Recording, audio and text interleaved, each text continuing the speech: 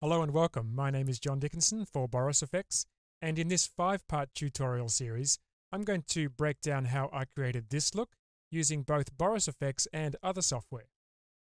In this section, we're going to start by looking at some of the key techniques I used to model the dragon in Cinema 4D. So let's get started.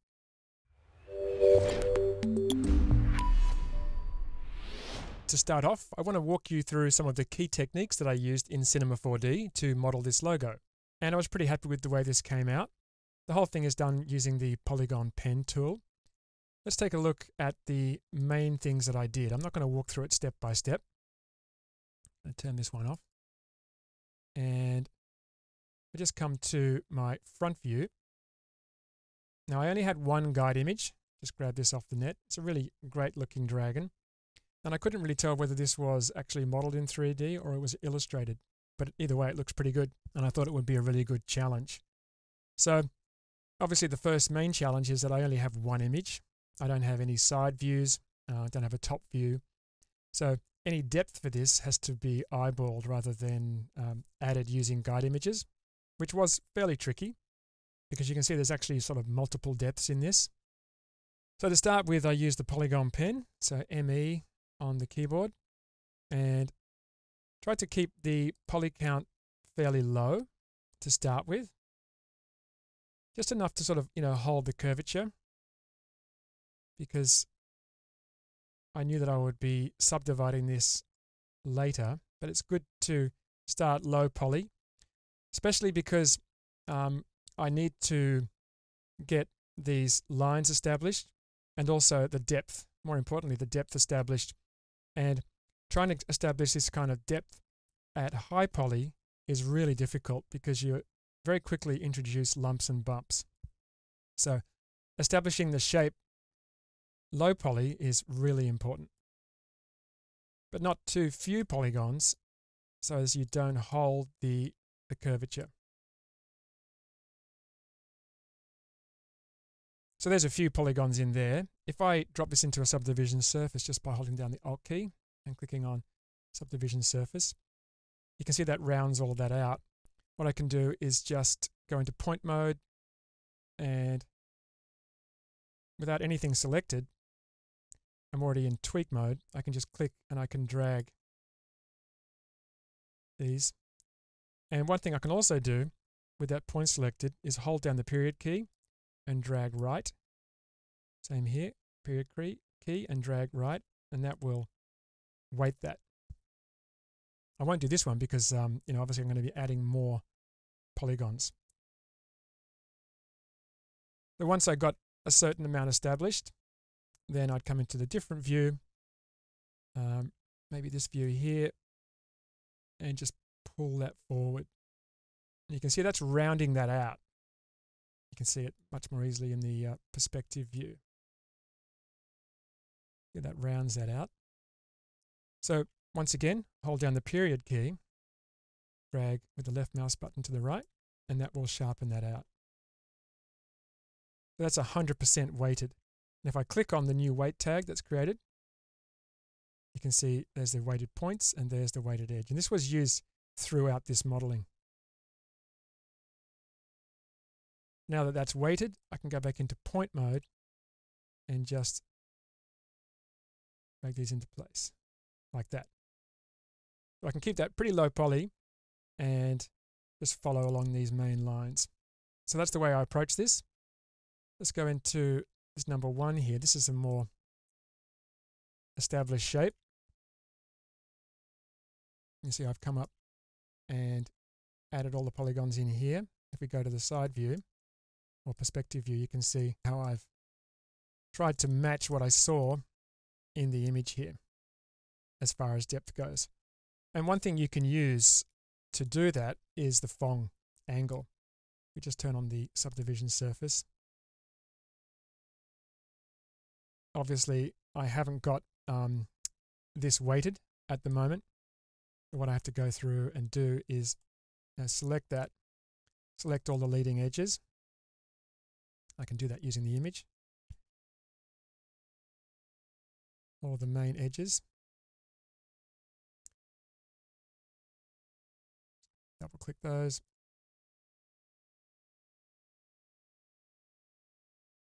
And that looks pretty good.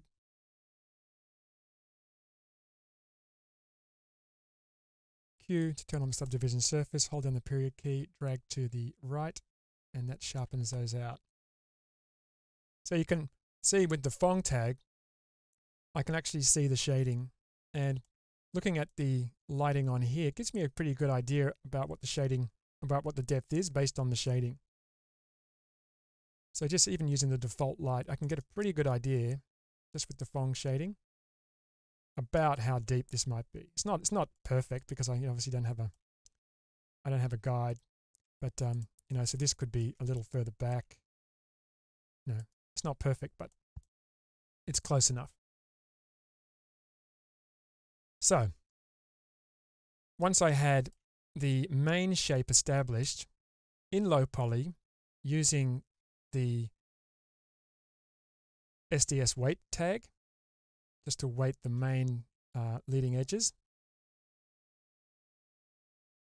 You can notice that I haven't added any of the details. I haven't added the top um, horn, none of these. I haven't added the tongue or that tooth. Haven't added any of the eye because all of these details require a higher polygon count in order to be able to held in place without affecting the curvature. Obviously, if I go in and add a cut in there, I'm instantly going to mess up that curvature, which is no good. So I need to establish a higher subdivision level and maintain that curvature. And this is why going low poly, weighting your edges and then subdividing that is such a good technique for something like this. Let me just turn that one off and turn this one on. And you can see that's what I've done here.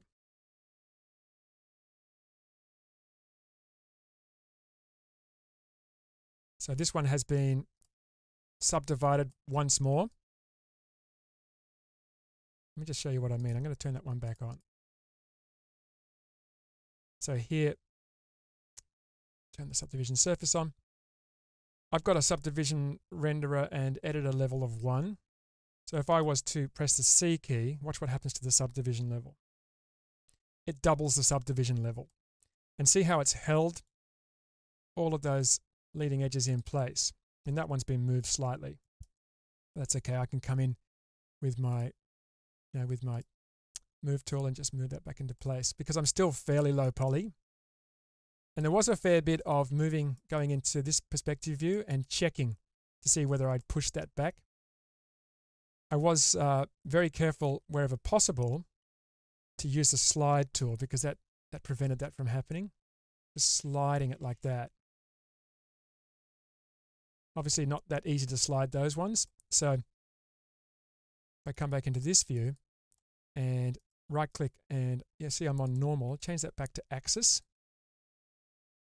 Just drag that out. So I'm very, very careful to go backwards and forwards to make sure I wasn't moving the point off of that plane. Because as soon as you start doing that kind of thing, then it, it destroys everything.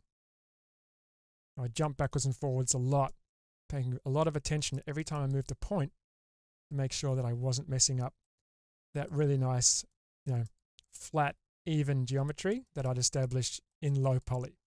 Because as soon as you start subdividing, obviously you're inc increasing the poly count. And once you increase the poly count, you have a much greater chance of adding lumps and bumps just by accidentally pushing points around. That's not such an issue at low poly, but you really want to make sure you've established everything as much as you can, as perfectly as you can before you subdivide.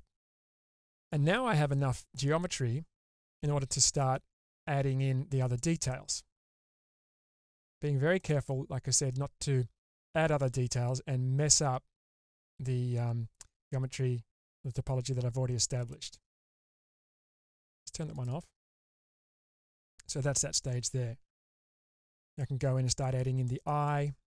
Uh, there's enough geometry to be able to add in the horns. Notice here on this one though, um, this, let me just go to polygon mode. Cockatoos outside.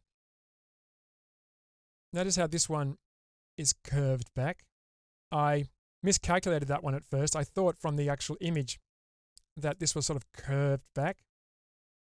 Um, not curved back, um, sort of slanted back. But then I noticed down the bottom here that this really does look flat. So I decided in the end to make sure that this whole frill here down the back actually was flat, and which made it much easier to put these pieces in. You'll see what I mean in a moment. So let me just turn that one off and I'll come to number three. Okay, so here in number three, you can see there's those flat sections and I've added in the um, uh, frills here. You can see I've used sort of looping strategies rather than carrying through edges all the way through or carrying loops all the way through is much easier to just do a little looping strategy there. But I've had enough geometry now to be able to add in all of those details now that I've established the overall shape at low poly.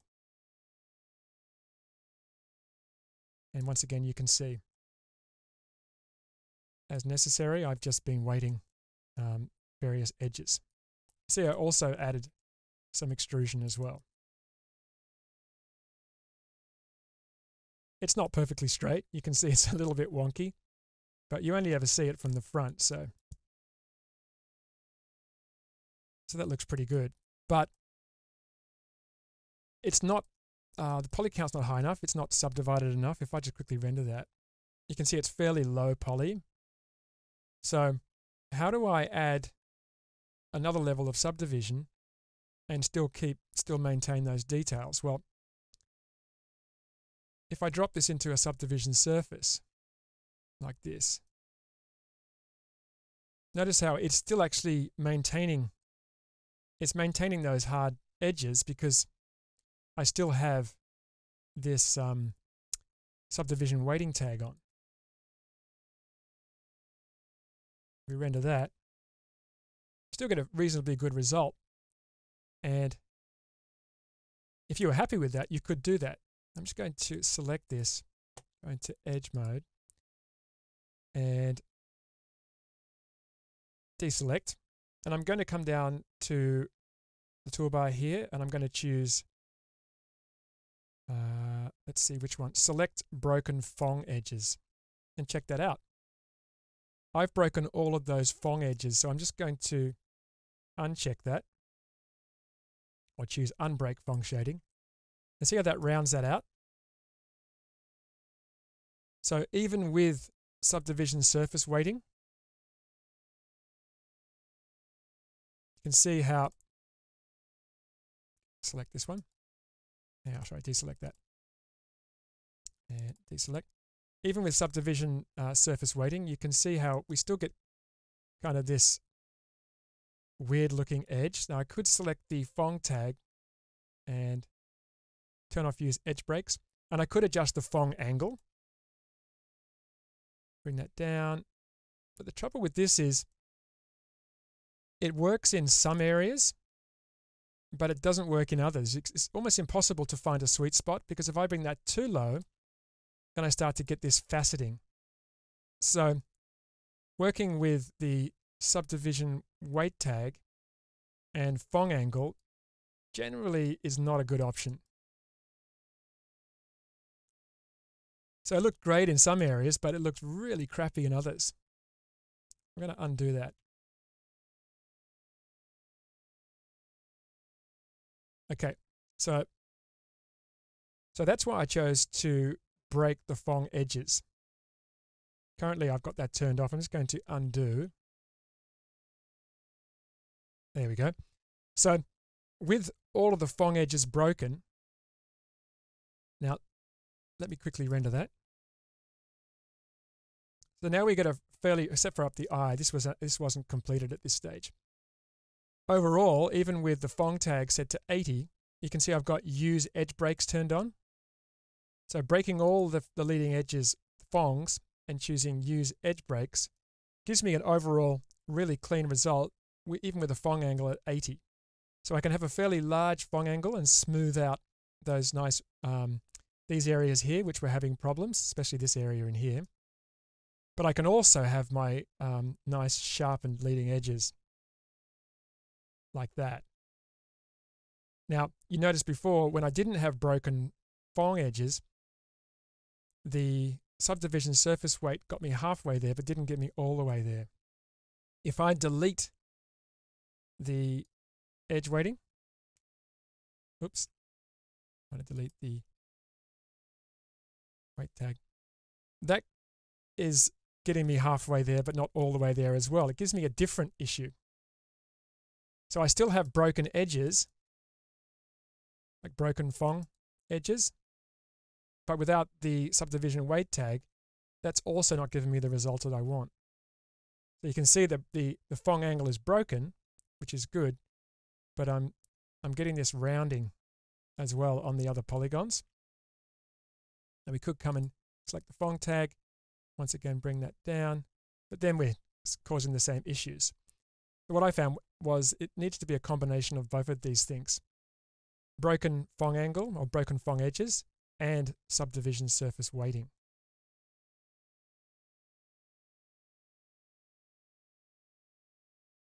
And let me come back to edge mode. So we've got all of those. I mean, obviously they're all the same edges as well.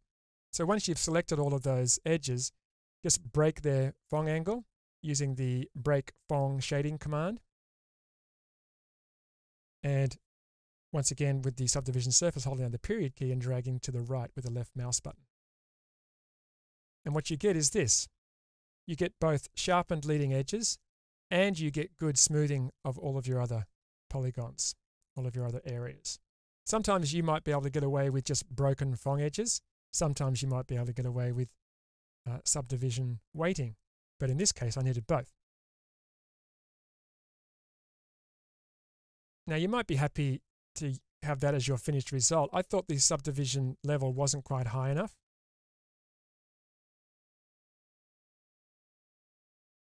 Make sure I've got these all done and make sure I've broken the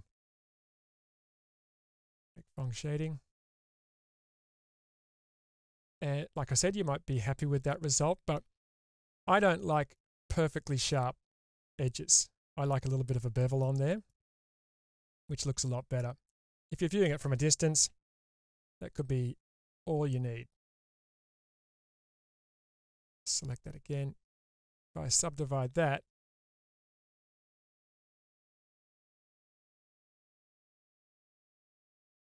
let's see what sort of result we get. So that's subdivided. We're probably not going to see too much of a difference, maybe on these edges here. Turn that off yeah, you can see, you start to see the faceting around these edges. So the subdivision level wasn't quite high enough.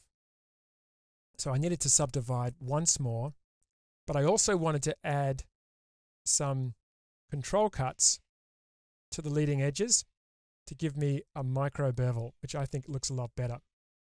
Turn that on. So we're getting the rounding or the smoothness that we want, but I'm not getting that micro bevel. So to do that, what I did was use a bevel deformer. Now take a look at the difference here. I'm going to put this into a subdivision surface. Turn off the bevel deformer.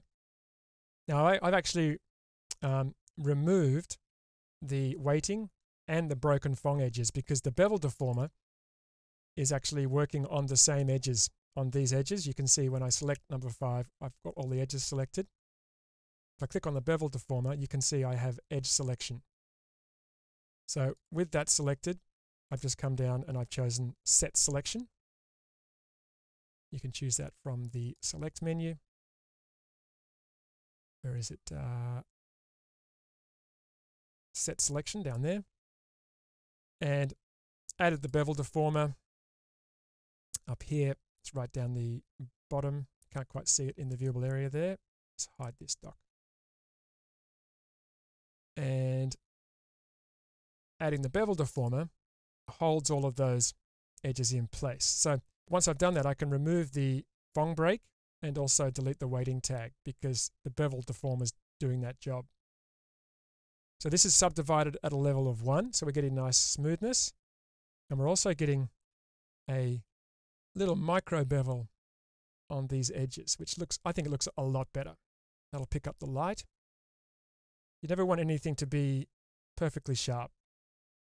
It's always good to add a tiny little bevel there. But what happens is, in this particular case, is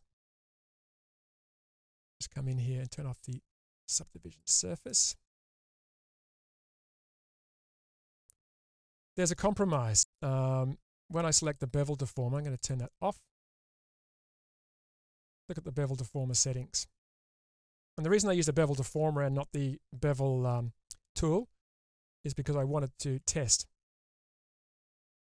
Obviously, if you use the bevel command, then it's difficult to try different settings um, later on. So with the bevel deformer selected, you can see, let me just make some space here. Turn that on. Notice here I have an n-gon. I've got five edges. So one, two, three, four, actually six, six edges. So there's an n-gon there. So that's going to cause some problems under subdivision.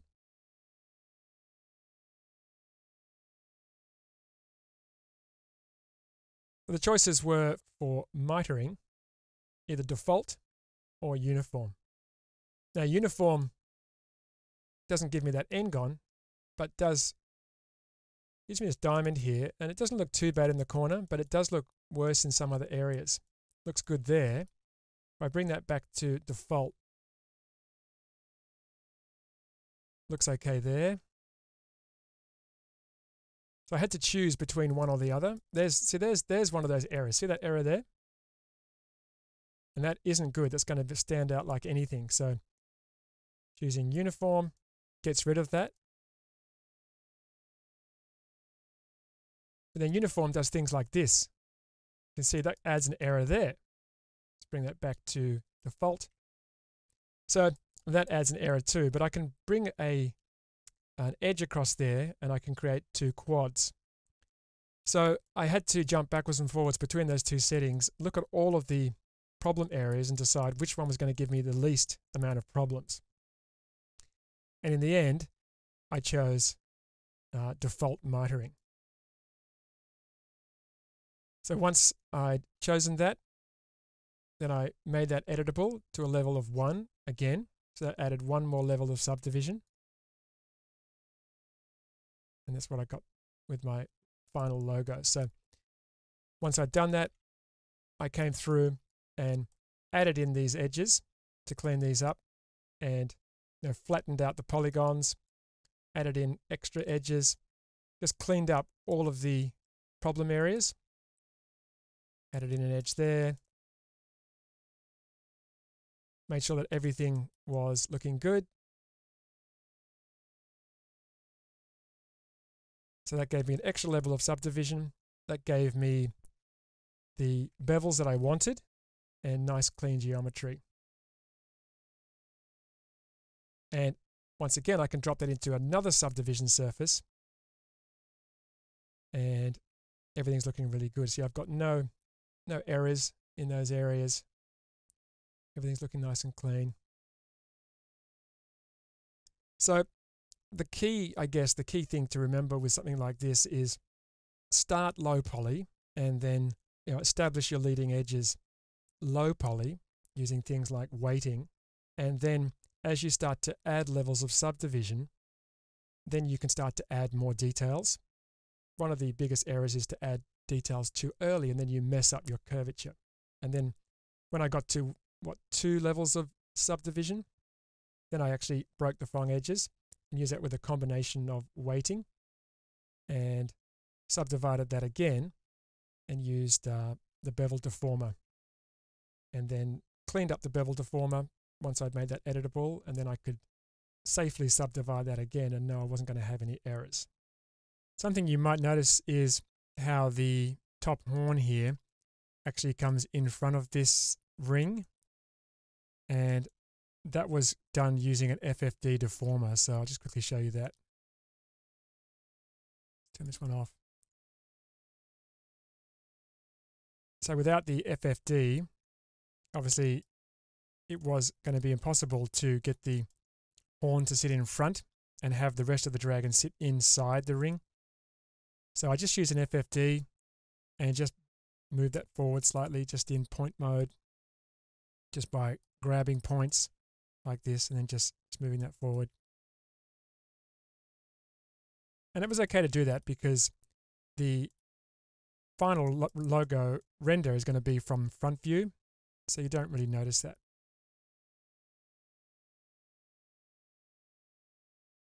Definitely the best way to do that with an FFD because you're not messing up any of the geometry, you're not adding any lumps and bumps, just getting overall big changes in the shape. And it's one of my favorite deformers.